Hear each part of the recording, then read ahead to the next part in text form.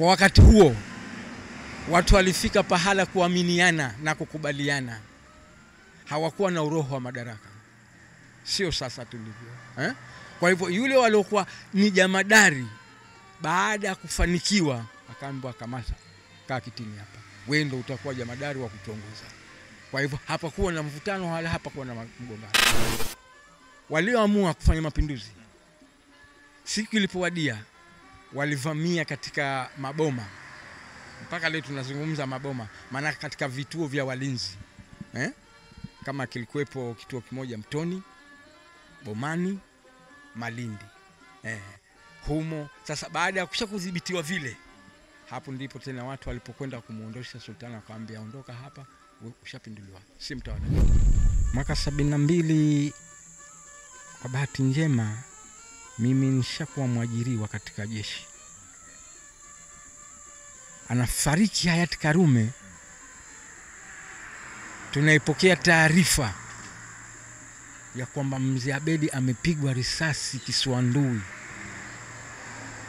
Kwa kweli kisiwa kilipata mshtuko sana. Ni, machukizo gani ambayo pengine alikuwa anayafanya sultan ama utawala ule kabla ya kupinduliwa, pengine ambayo yalipelekea Wazanzibari waseme kwamba ah, sasa inatosha? Mapinduzi, mapinduzi, dua tunawaombea.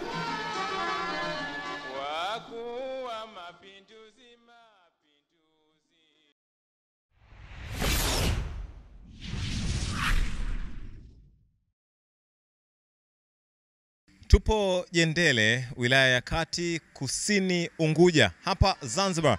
Tumekuja hapa kukutana na miongoni mwa wazee wa kongwe haswa.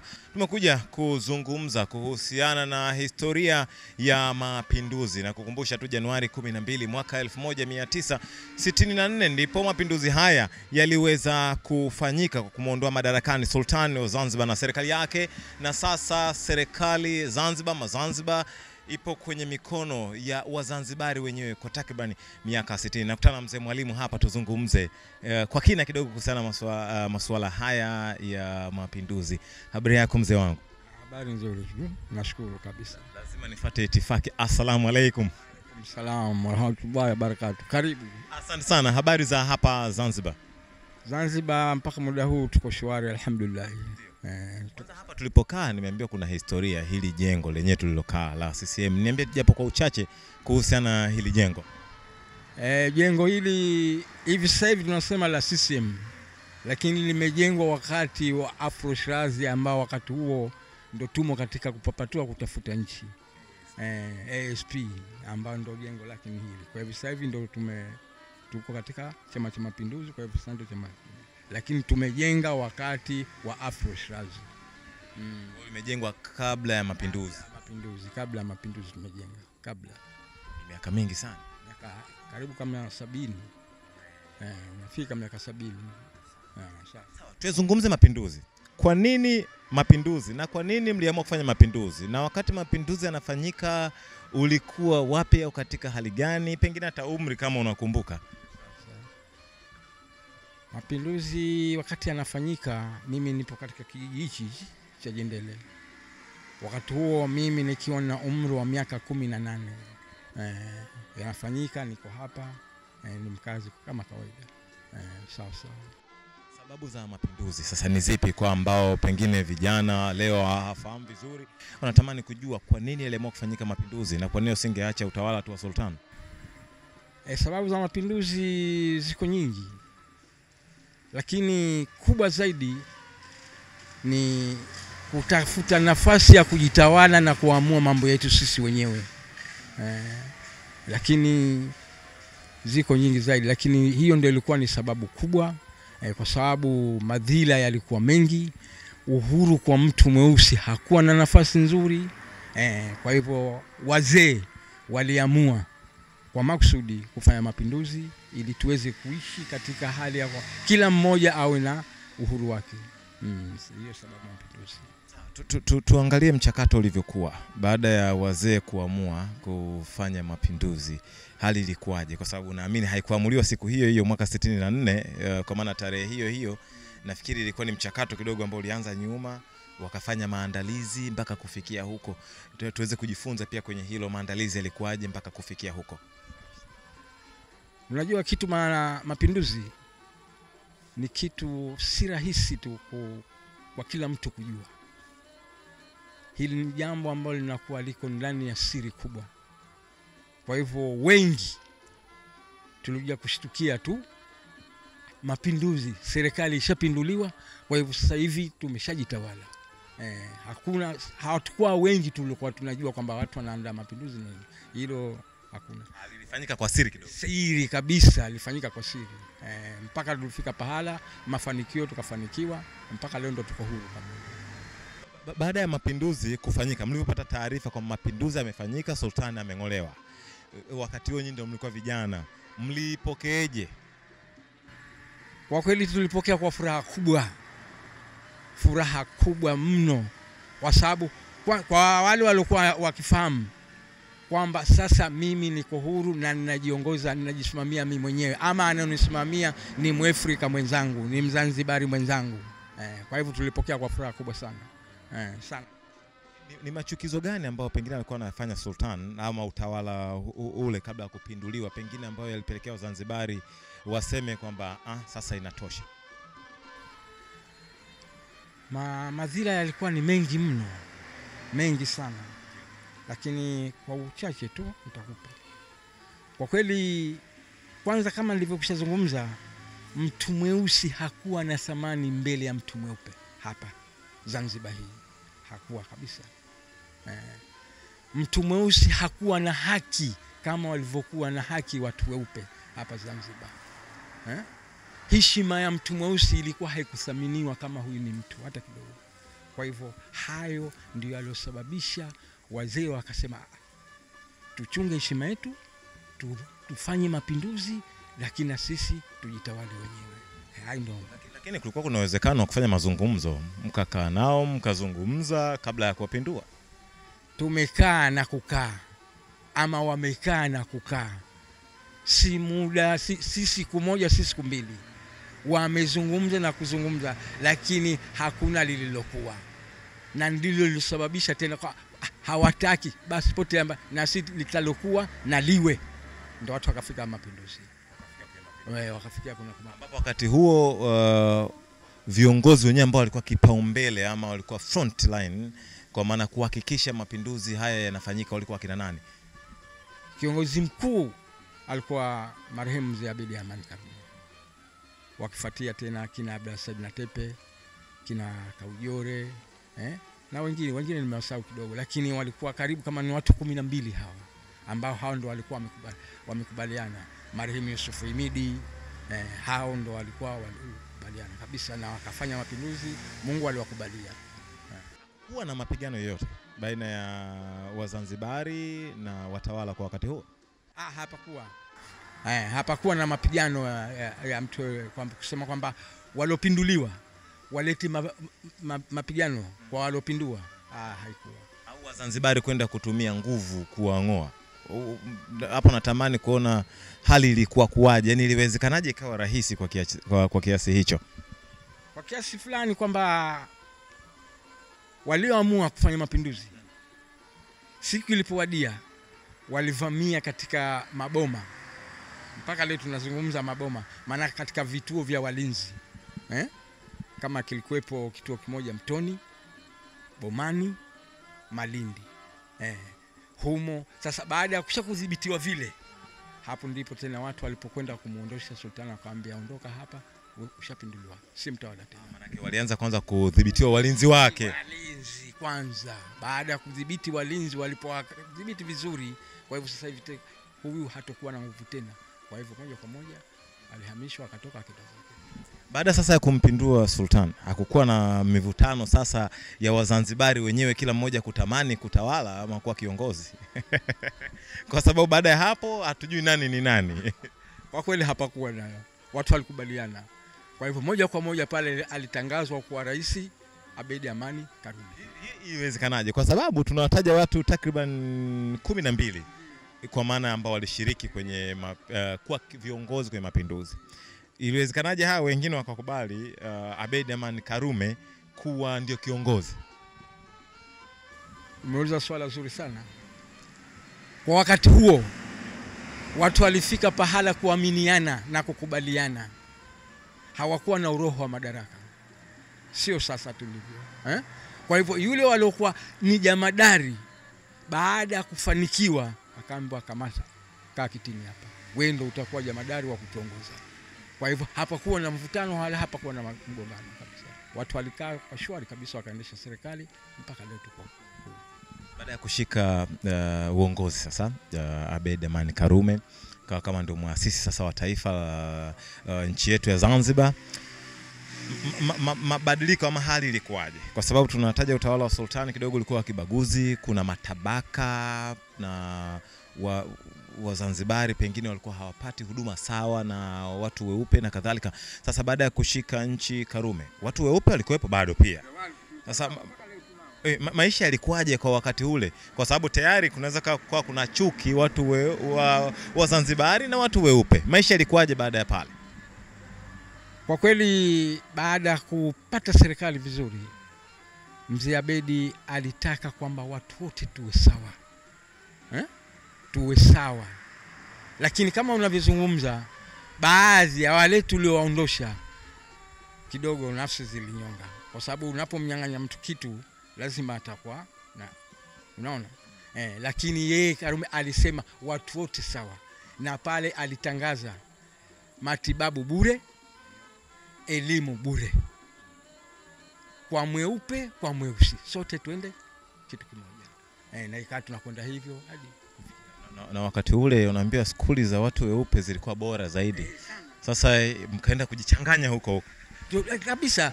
Tuka- tumekwenda kusoma huko huko. Eh, tumekwenda kusoma kweli, na wakati huo ilikuwa aingie mtu mweupe, lakini baada ya mapinduzi tulichanganyika, tukawa tuko pamoja, elimu anaopata mweupe na ma, ana, Natamani kuona ile siku ya kwanza ilikuwaje. Sasa. Uh, kesho tunaenda shule na huko skuli tunachanganywa wote, si darasani ilikuwaje? Bahati mbaya wakati ule ulikuwa umekwisha maliza masomo, ndio. Kwa kweli hali ilikuwa ni ya kawaida. E, kidogo mtu, anaweza akajihisi "Ah, hivi kweli ndo nika- nikae na huyu? Ah, na mimi nikae na huyu? E, e, lakini ilikwenda mpaka watu wakawa wote kwa jumla ikawako wako pamoja. Wa pamoja na ika hakuna tofauti yoyote.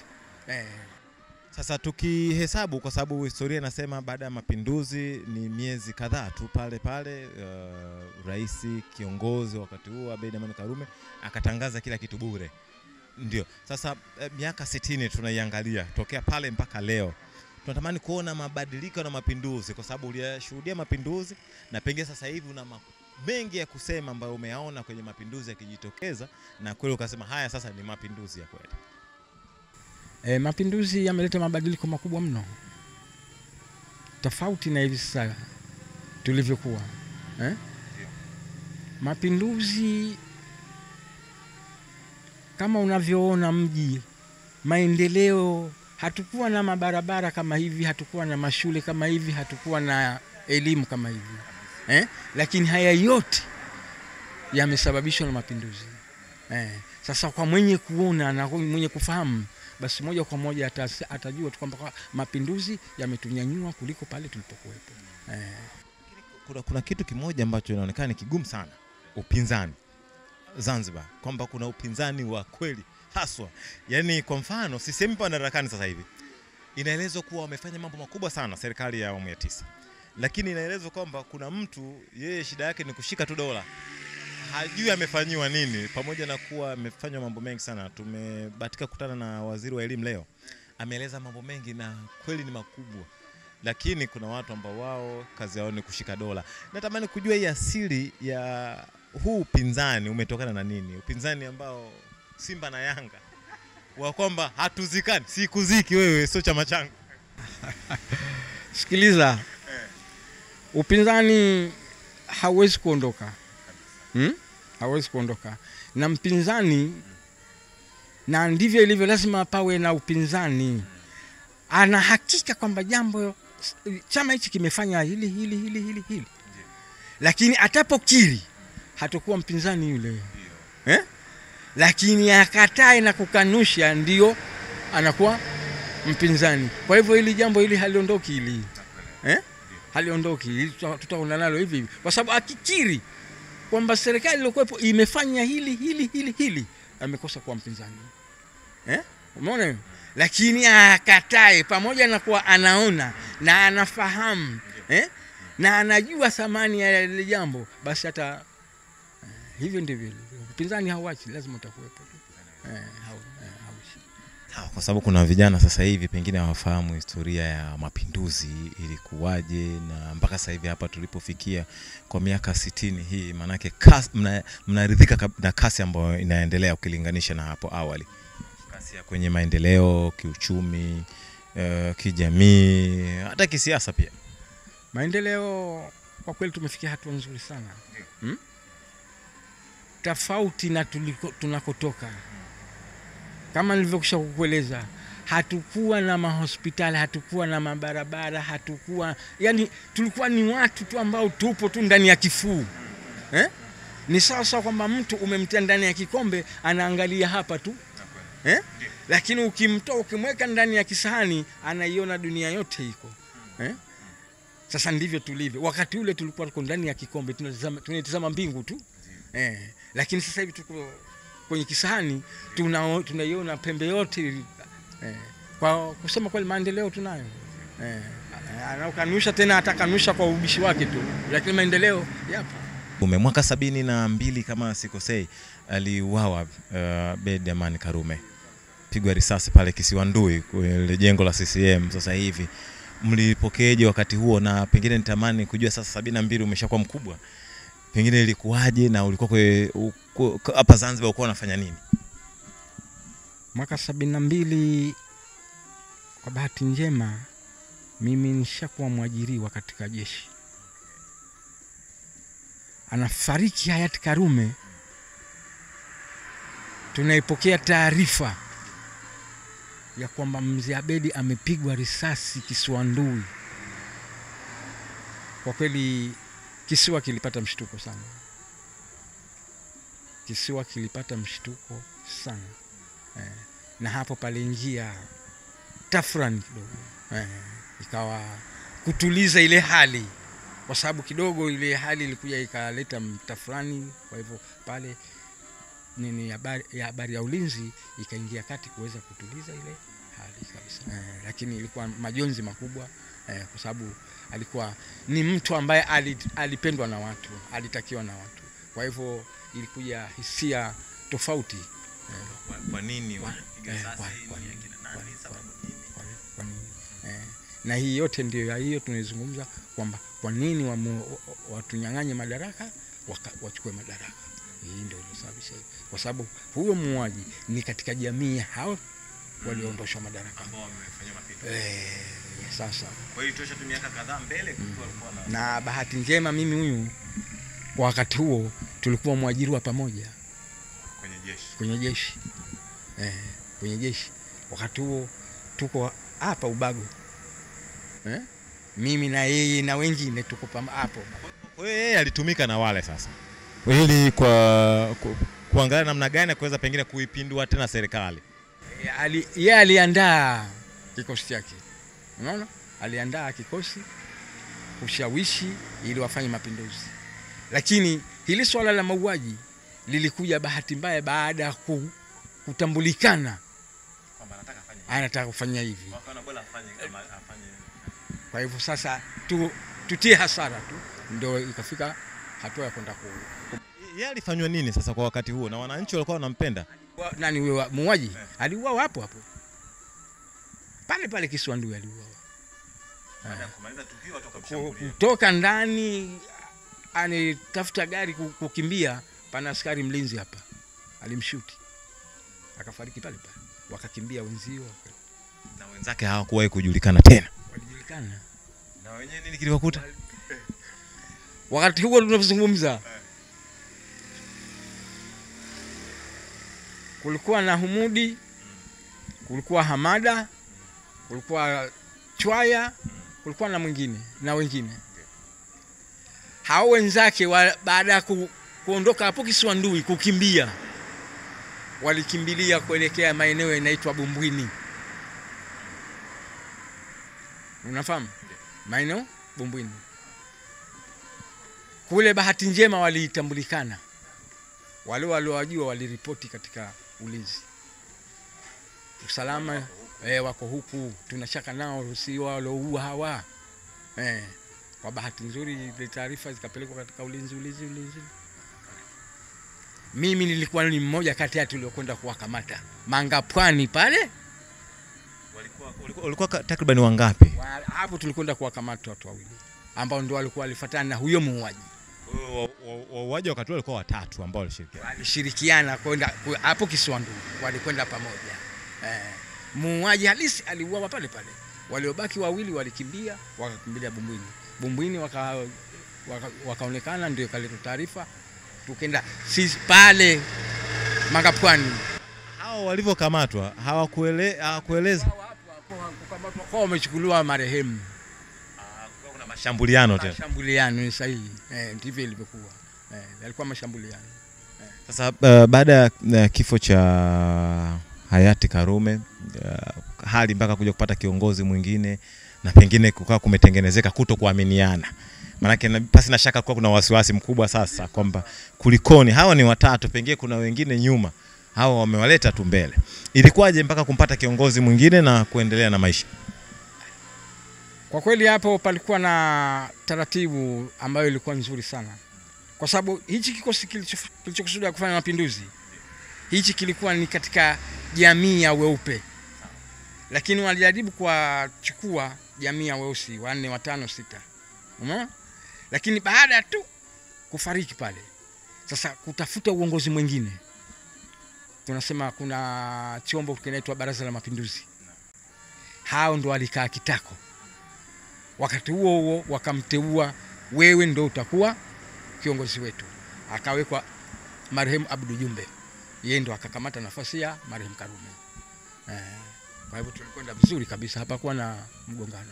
Mimi kwenye hili la mapinduzi ni kushukuru sana, labda pengine uh, uwazungumze sasa, niseme wajukuu zako, Rais wa Jamhuri Samia Suluhu Hassan da daktari, pamoja na Dr. Hussein Mwinyi, rais wa Zanzibar, na kwa uzoefu wako, tafsiri yake umebahatika kuwaona marais wote uh, mpaka sasa hivi wa Jamhuri pamoja na hapa Zanzibar, ukiwatathmini wao, ukiwalinganisha na hawa wa sasa, unaweza kusema nini? Sasa tuwatoe baba wa taifa, tumtoe Karume, tumtoe Nyerere. Kwa kweli mabadiliko yatajitokeza yata- tu kutoka huku kutoka huku, haitokuwa pale tulipo tulipoondoka na hapa tulipo patakuwa sawa. Mabadiliko lazima yatakuja vingine. Kwa kweli tuwashukuru eh, tuwashukuru sana namna wanavyotufanyia kazi, yani nafasi tulizowapa wanazitumikia kama vile tu tunavyohitajia. Eh, tuna- tunashukuru eh. Hawa ulilitumikia jeshi kwa muda gani? tumikia jeshi karibu miaka ishirini na mbili. Mm. Wakati huo ulikuwa halitu jina la sasa.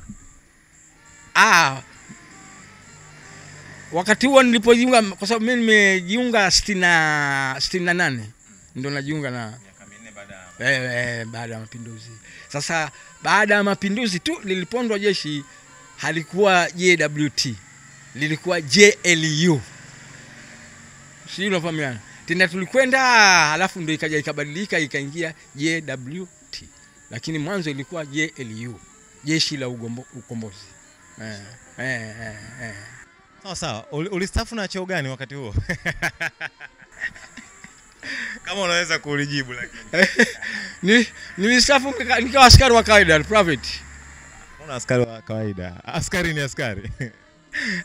askari maanake kuna kuna renki eh? kuna renki. Kwa bahati mimi niliondoka bila renki Kile ulifanyia umefanyia makubwa taifa. Ndani ya nchi, nje ya nchi eh. Sasa hivi unazungumza na uh, Rais Mwinyi na Rais Samia kwa sababu nyinyi ni miongoni mwa wale ambao mmelifanya taifa kuwa hapa lilipo kwa amani hii. Pengine lolote la kumwambia sasa, tambulisha kwa majina, akakusikia, ukamwambia lolote ukamwambia lolote wajukuu zako. Sawa, mimi hususan namwambia Mama Samia, kuna kipindi fulani tulipata maelezo wale maaskari ambao tulitumikia nje ya nchi, kulikuwa na kitu kinaitwa posho, na tukaahidiwa kwamba tutapewa. Na nakumbuka mimi nafsi yangu nimewahi kuondoka hapa nyumbani pangu, nikaenda makao makuu, nimeitwa kwenda kuorodhesha. Nishakwenda mara mbili, lakini mpaka muda huu eh, hamna kilichotoka. Karibu miaka kumi na hivi sasa hivi eh, sasa atuangalie eh, kwa moyo wa huruma sisi wazee wake eh, tungalipo tumetumikia taifa ndani ya nchi, nje ya nchi tumetumikia. Kwa hivyo na- namwomba Rais wa Tanzania ili swala ah, atufikirie na sisi wazee wake. Mi nawashukuru na nyinyi vijana wangu, karibuni tena, mkaribie zaidi zaidi. Asante, nawashukuru sana. Asante sana. Tupo hapa kusini Unguja, Zanzibar. Tumebahatika kutana na mzee Mwalimu, aliwahi kuwa askari wa jeshi la ukombozi, baadaye JWT na amefanya kazi kubwa sana. Umemsikiliza hapa, ametuelezea kuhusiana na uh, mapinduzi ambapo yalifanyika mwaka 64 Januari 12 na ni miaka 60 imepita mpaka hivi sasa. Global TV tumekuja hapa pia tuweze kukuletea elimu pia kuhusiana na hilo. Mimi naitwa Richard Ngaila, nipo na Hilary Daudi. Hivi utajisikiaje ukishuhudia Taifa Stars live bila chenga? Ndiyo, pata nafasi ya kushinda tiketi moja kati ya nne kushuhudia Taifa Stars ndani ya AFCON. Washabiki wa nguvu unaopata historia hii ya maisha nchini Ivory Coast kuanzia Novemba 16 hadi Disemba 15. Weka pesa, beti na uingie kwenye draw ya kuwa mshindi. Siku zote unapata zaidi na Betway. Betway, bab kubwa.